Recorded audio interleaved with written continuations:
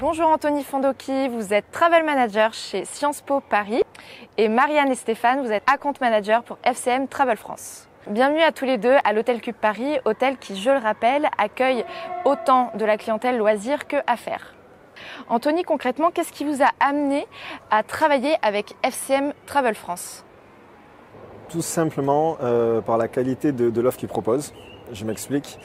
Euh, Sciences Po est soumise aux règles de la commande publique. De ce fait, on doit respecter des règles très encadrées, dont euh, les critères d'attribution. Donc avec le groupe projet, on a décidé de, confier le marché à l'agence qui obtiendra la meilleure note euh, avec un critère sur la qualité pondéré à 70% et sur le prix à 30%. C'est assez atypique sur le marché puisque la qualité est plutôt fixée à 60%, euh, voire 50-50 avec le prix. Moi-même, j'ai pu voir des appels d'offres où le prix était supérieur à la qualité. On pense que c'est une erreur côté Sciences Po parce que derrière le prix se cachent en réalité les frais de transaction uniquement. Et ces frais de transaction, grosso modo, à l'année, c'est 5%. La réelle source d'économie se cache derrière euh, la qualité et la mise à disposition, par exemple, d'outils de retarification ou d'agents expérimentés. Euh, un billet qui est réservé initialement à 5 000 euros et qui est finalement émis à 4 000 euros, elle est là l'économie. Et pas forcément sur un frais de transaction qu'on va payer 1,50 euro à la place de 1,30 euro. Donc pour revenir à, à votre question, pourquoi FCM Parce qu'FCM est très qualitatif, a obtenu tout simplement la meilleure note. Et en tout cas, côté Sciences Po, on pense que c'est l'agence euh, la plus qualitative sur le marché en France à l'heure actuelle. Et de votre côté, Marianne, comment est-ce qu'on accompagne un nouveau client tel que Sciences Po Paris? Alors déjà, je tiens à remercier euh, Sciences Po dans un premier temps euh, de nous avoir fait confiance. Euh, ensuite, euh, pour tout ce qu'on a mis en place, finalement, ressemble à ce qu'on met en place pour l'ensemble de nos clients, qui est tout simplement l'implémentation. cette implémentation va se construire en plusieurs phases.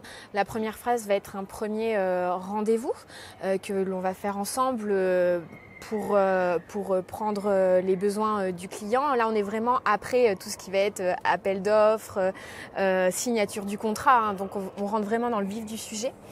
Euh, après cette réunion, on va programmer différents ateliers euh, où on va rentrer vraiment dans le détail des fameux besoins euh, clients. Ensuite, on va avoir une phase de conception. alors là, c'est purement de notre côté FCM, une phase de construction qui est l'idée vraiment par le chef de projet. Euh, et ensuite, euh, la phase de démarrage et l'hypercare. Alors, pendant la phase de, démarrage et pendant l'hypercare, on a un, suivi qui est assidu entre FCM et, et le client. Même pas que FCM, c'est vraiment du coup la compte manager et, le travel manager. Alors nous avec Anthony, euh, du coup on a fait connaissance euh, pendant euh, la phase d'atelier parce que chez FCM la compte manager rentre dans la boucle assez tôt pendant ces phases d'atelier pour bien comprendre le besoin client. Ça nous aide énormément pour la suite en fait de la relation. et ensuite donc au démarrage et pendant la phase d'hypercare, on est euh, très présent. On fait euh, des réunions euh, journalières la première semaine et ensuite hebdomadaires. Alors la phase d'hypercare, qu'est-ce que c'est? C'est vraiment une phase pendant laquelle nous, côté interne FCM, on va prioriser l'ensemble des tickets du, client. si on a des, des, des, questionnements de la part du client ou si on se rend compte que quelque chose n'a pas été respecté pendant l'implémentation, par exemple. Et moi, en tant qu'account manager, je fais un rapport euh, assez euh, fréquent donc et régulier avec Anthony pour lui dire euh, pour lui faire un retour et voir si tous ses besoins ont bien été respectés et s'il est satisfait de cette phase de démarrage. Alors justement, on va revenir sur cette période d'implémentation. Quel est votre feedback, vous, de votre côté, Anthony? Euh, Pour être transparent concernant l'implémentation, euh, on était un peu inquiet parce que la précédente, c'était pas super bien passé, on a eu du retard. Et à la lecture de l'offre d'FCM, euh, lorsque euh, on a vu qu'ils proposaient une implémentation en trois mois, on était assez dubitatif. Sauf que dans la réalité, c'est bien ce qui a été respecté. Je tiens à souligner tout de même que c'est un des rares projets qui relève du SI euh, et où je ne connais pas de retard. La deadline a même été annoncée plus d'un an à l'avance dans le cahier des charges et a été totalement respectée. Je pense que ça s'explique par deux choses. La première, c'est le fait que l'équipe d'implémentation côté FCM était très expérimentée et côté Sciences Po, on, était aussi assez mature euh, sur le sujet avec des attentes et des besoins très précis. Et notamment, Marianne, on sait qu'il y a une différence entre la pratique et la théorie. Comment est-ce qu'on s'adapte à ce projet, notamment dans une période si particulière? Oui, en effet, période particulière à cause, ben, comme on le sait tous, du, Covid, hein, tout simplement. Donc une période de deux ans qui a été euh, forcément euh, compliquée.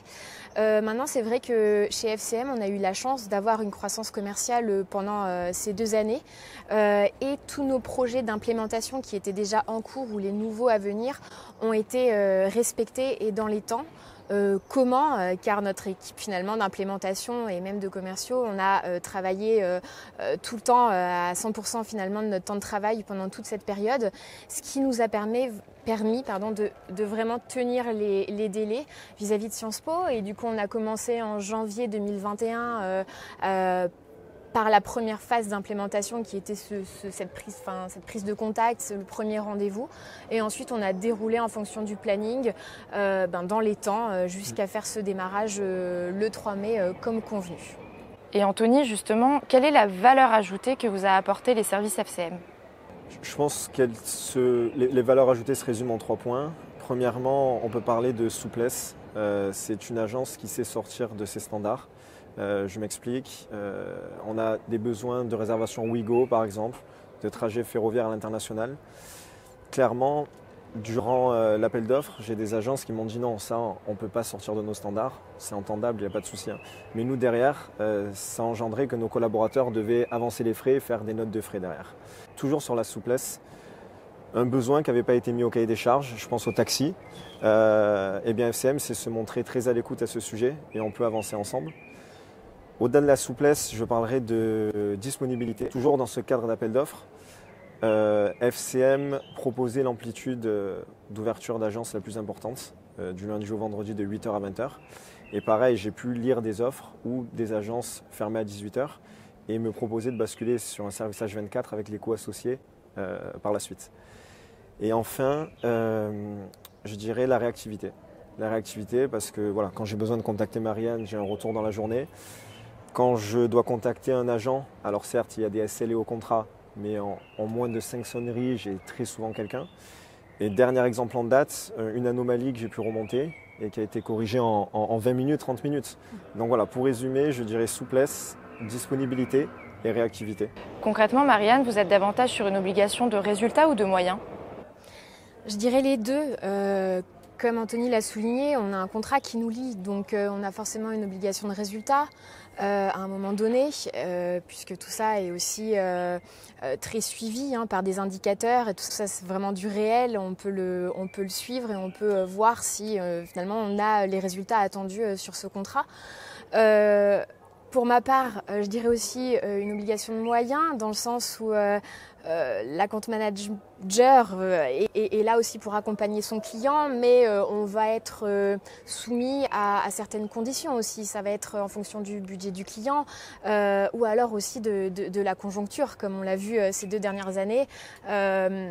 Le, travel en tant que tel n'a pas été forcément un des premiers budgets pour, nos clients, donc difficile de développer certains projets et de mener à terme certains projets avec eux. Maintenant, euh, le but est de toujours les accompagner, euh, toujours leur faire savoir qu'on est là, toujours leur faire savoir qu'on est là pour eux. Et euh, dès qu'ils le peuvent, eh bien, on, développe des projets et on essaie de les mener à terme. Et justement, en parlant de nouveaux produits, est-ce que vous pouvez nous en dire un petit peu plus sur les nouveautés d'FCM oui, bien sûr. Alors c'est notamment euh, la FCM plateforme que j'ai pu euh, présenter à Anthony euh, au moment de l'IFTM. c'est un nouvel outil que FCM a mis en place et a développé qui permet aux utilisateurs d'avoir un seul et même accès pour retrouver leur réservation, leur accès au, SBT et également des informations que leur société souhaite leur faire partager. Alors il faut savoir qu'il y a trois accès distincts, un euh, pour les voyageurs, un pour les chargés de voyage et un pour les travel managers. L'accès travel manager est euh, d'autant plus intéressant que sur cet accès, on va retrouver FCM Reporting.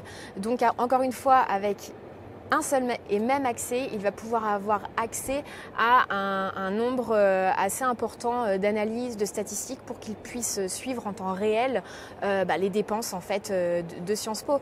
le déploiement des FM plateforme est prévu au courant de l'année, donc on espère le mettre en place très rapidement pour, pour Sciences Po. De votre côté, Anthony, comment ce nouvel outil vous aide dans vos missions quotidiennes? Clairement, ça va permettre un, gain de temps qui entraîne derrière logiquement un gain de productivité. Euh, le fait d'avoir euh, une centralisation de l'information euh, et un accès unique, c'est totalement l'objectif vers lequel nous souhaitons tendre.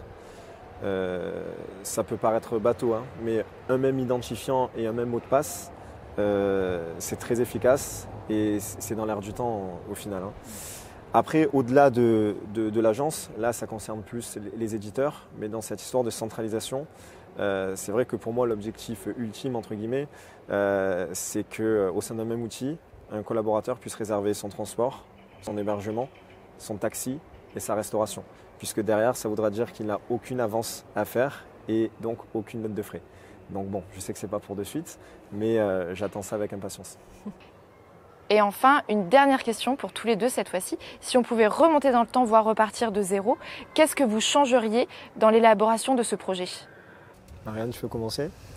Euh, Ben, je pense que on ne changerait pas grand-chose puisqu'aujourd'hui c'est vrai que la relation est plutôt euh, réussie. Donc euh, on a encore une fois bien appliqué toutes les étapes du, process et on en est content aujourd'hui de la relation qu'on a construite ensemble. Maintenant, peut-être, bah là, je vais plus te laisser parler sur. Oui. S'il y avait quelque chose à changer, alors j'ai envie de dire à, 95%, tout est très bien. comme a dit Marianne, la relation se passe bien. Sinon, je ne serais pas là. Non, je plaisante. Mais allez, les 5% peut-être qui seraient à, changer, le, tout petit bémol qu'il y a pu avoir, c'est sur la partie hébergement. On va dire qu'on vérifierait peut-être avant de déployer que les tarifs négociés remontent bien dans l'outil. On se pencherait peut-être encore un peu plus sur le business model des HBT pour euh, pouvoir aussi l'expliquer en interne parce que les collaborateurs euh, ont pu nous challenger à ce sujet, c'est normal. Donc voilà, c'est vraiment la, seule petite euh, chose à, à souligner. Merci beaucoup à tous les deux et merci à l'Hôtel Cube Paris.